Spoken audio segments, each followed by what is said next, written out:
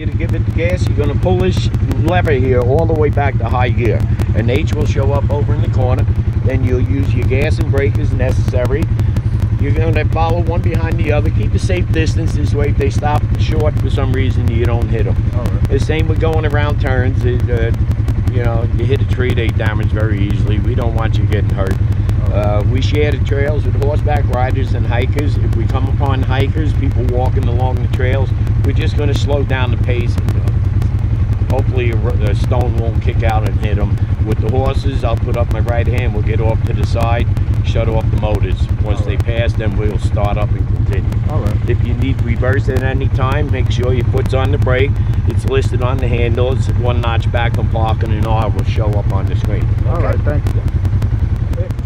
Hey. Ready?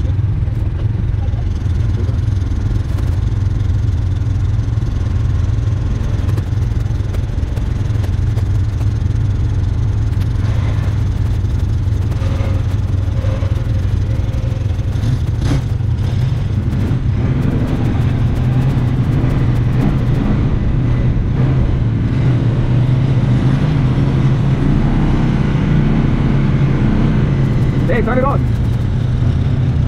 Chris, you recording, right?